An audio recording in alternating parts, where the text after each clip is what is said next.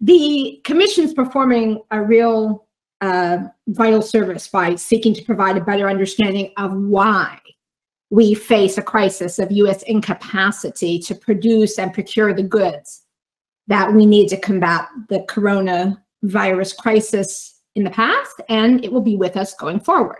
This information is critical to figuring out the proper policy responses.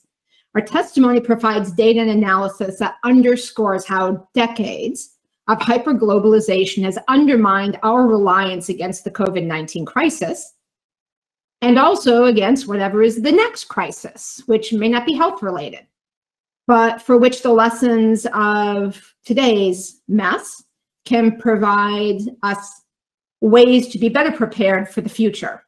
The bottom line is that the US is almost entirely dependent on other countries to access some essential goods that we will need for any number of different potential crises, be they the electric grid, communications, or health.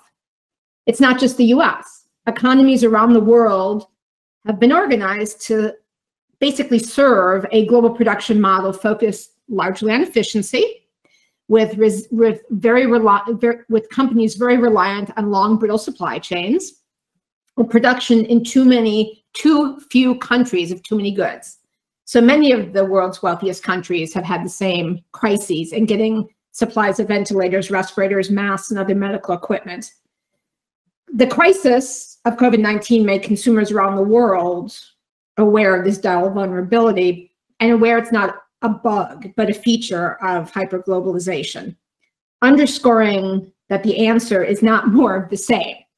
We need to recognize in the US that losing 40,000 US manufacturing facilities in the last 25 years has made us unnecessarily vulnerable in the instance of many sorts of crises as COVID-19 has revealed. Factors have contributed to this hollowing out, trade policies that made it much less risky and cheaper to relocate production, lack of disciplines on currency manipulation that flattened companies domestically trying to compete with imports, waivers to buy American and other domestic procurement preferences that meant that there was not a steady domestic supply for domestic production, including the waivers given to 60 countries. So today, Buy American is Buy American plus 60 other countries. and the merger mania that has been enabled by a lack of competition policy, which meant the elimination of many redundant production facilities as a few dominant firms in key sectors took over. So as the first set of data in this testimony shows, the US trade deficit with China and with the world in pandemic related PPE, medicines, other products dramatically increased during this period of the COVID-19 crisis. This is already in the context of the US maintaining the world's largest trade deficit year over year and already being extremely reliant on other countries to provide essential goods. February 2020, we had a surplus of 49 million. Now, as our testimony documents, that was in part because the Commerce Department was urging US companies to export COVID related goods right into March to China. And China, as our data shows, had, regardless of what they said, cut off many of their exports to us of the same goods. By March, the balance was a $31 million deficit. And if you look at the month over month average for the period April, July, gains of a thousand percent deficit plus over a thousand percent. We have a seven month deficit of 6.5 billions, five times bigger for this seven month period than 2019. The rest of the world isn't more comforting. It's almost doubled. And thus our first conclusion. Despite efforts to scale up domestic production, the reality is the US became more dependent on imports during the crisis. So that as we think forward, we need to figure out a way to have some domestic supply, as clearly we cannot scale up under this paradigm. Number two, there's been a continuous concentration of the supply chain in a handful of countries for critical goods over the, over the past decades. And the lack of diversity in import sources creates vulnerabilities, even if there isn't a global disaster, which of course is why you need some domestic capacity. But if there is a regional disaster and we are over reliant on regional suppliers. So we start the data in 89, before the NAFTA WTO era. And we look at the top 10 import sources of the key products that the ITC also has identified in its work on the COVID crisis. In 89, Americans had a much more diversified list of countries to import test kits, medicines, ventilators. So they were less affected. We were less affected if something happened in one region or country. Over time, it's gotten extremely concentrated in China and Mexico. So Chinese companies were 13% of the list of COVID-related goods in 89. They're 75% in 2019.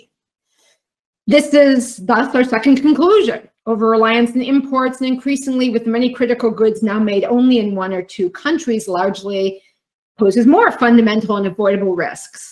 And basically, we need both to have some domestic supply and diversify our import supplies. As witnesses on the previous panel made clear, part of the issue with this concentration and with the import reliance is you can't scale up production domestically, even if you choose to, because the supply chains are so thin that you cannot get particular parts. You cannot get supplies to be able to actually do the manufacturing.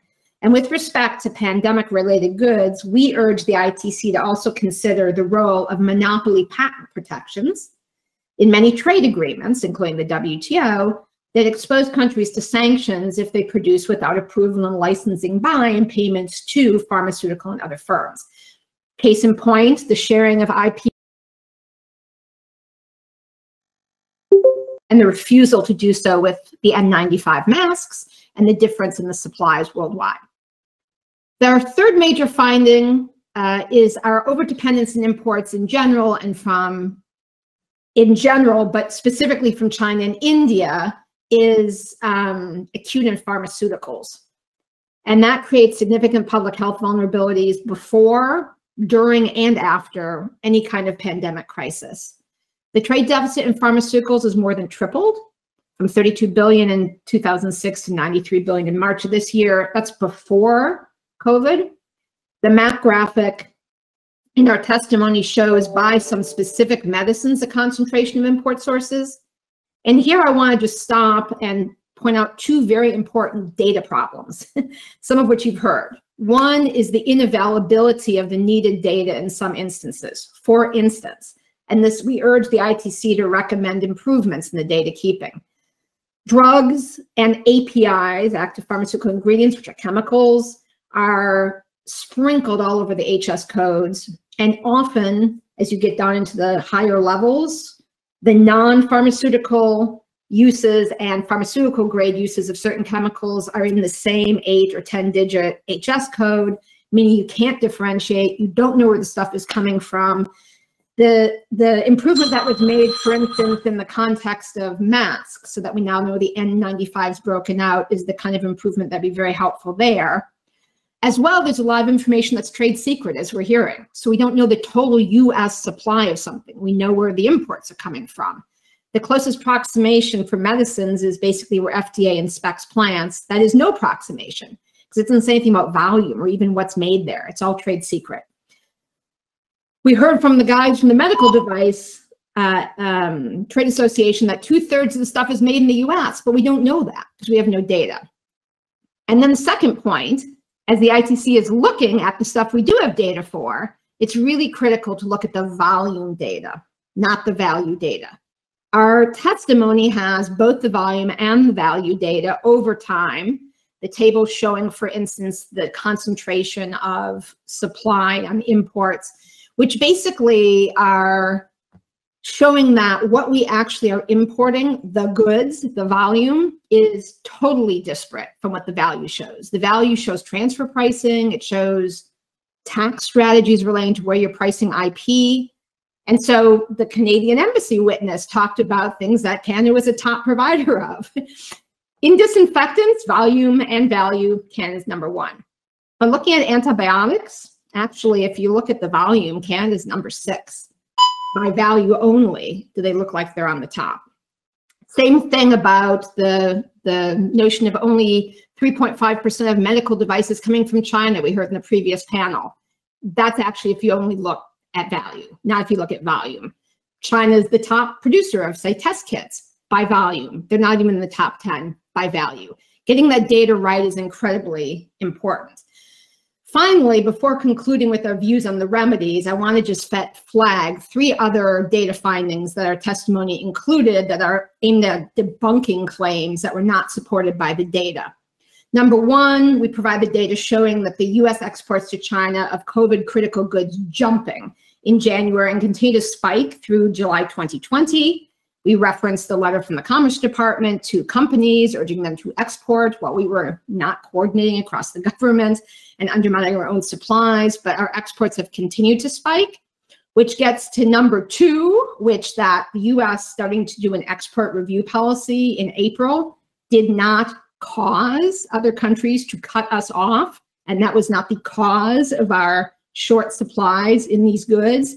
Rather, as you can see at tradewatch.org in a live video map, we were one of the last countries in the world to implement any kind of review.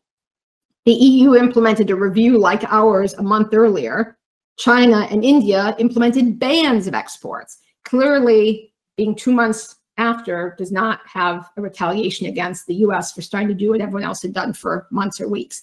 And then finally, contrary to the Chinese government claims, the data shows that in fact they did, starting in December and January, cut off exports to the US of the category of COVID response goods. Mm. The imports plummeted and our data controls for seasonality, which is major in those months, and for the Section 301 tariffs.